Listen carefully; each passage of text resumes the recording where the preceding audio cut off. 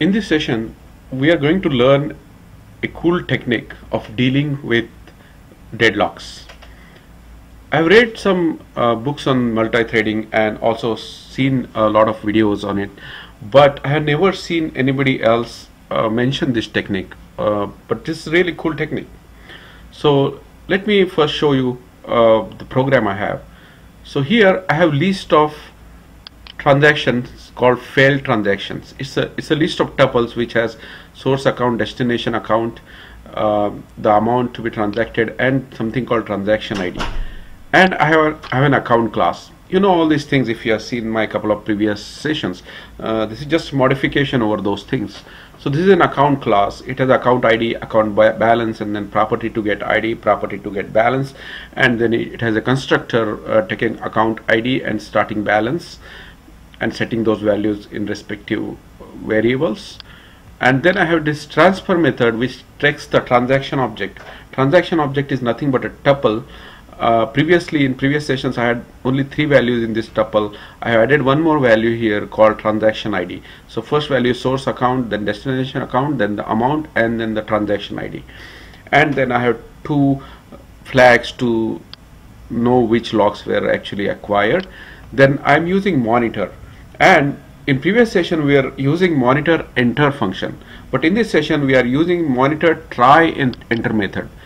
The specialty of try and enter method is it provides one more uh, parameter called timeout so it has three parameters. Uh, it has multiple overloads but the particular overload I am using has three parameters.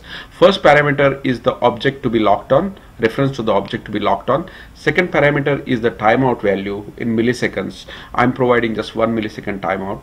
And then the last parameter is the flag to know whether the lock was really, really acquired. So I'm acquiring lock on first item then I'm acquiring lock on second items and if both locks were acquired then I'm actually performing real transfer and then I'm introducing delay of 3 milliseconds to um, represent the real life delay in processing and also to increase chance of deadlocks because we want to see deadlocks here. Now what I'm doing if the if one of the locks was not actually acquired because you know another thread has that lock uh, and in which case it usually causes deadlock situation here what I am doing is I am printing out message saying this transaction with the fourth um, fourth uh, you know uh, the parameter of the tuple which is the transaction ID I'm printing the transaction ID and saying this transaction timed out and then I'm adding that transaction to the failed transactions list.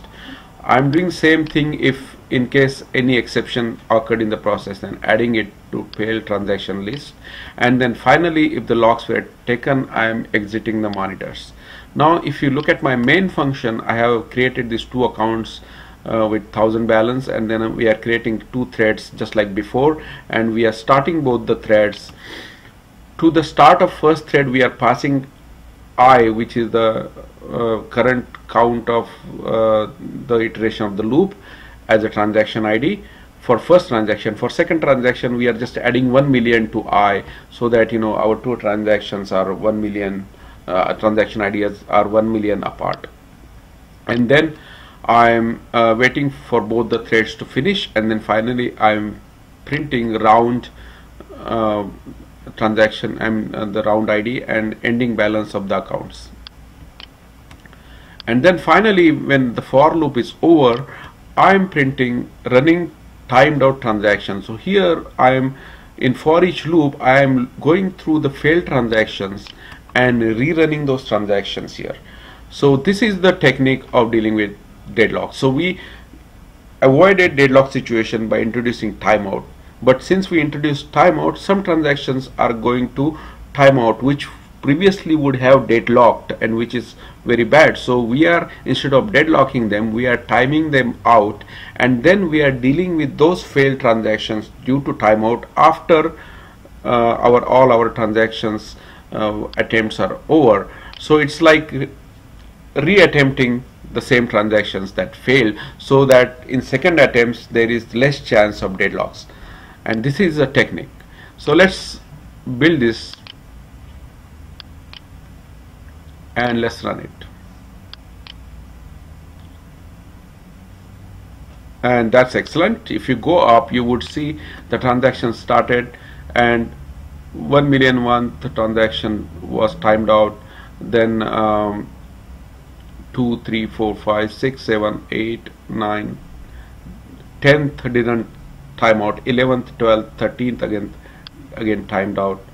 You know so you would see if you go through this list you would see that some transactions succeeded and some timed out. And then we are rerunning the transactions that were timed out so here 1 2 3 4 5 6 7 8 9 we are rerunning 10th didn't time out so we are not rerunning. Then 11 12 13 14 15 16th didn't time out. 17th 18th 19th 20th so like that we are rerunning all the transactions that failed out and finally we are done.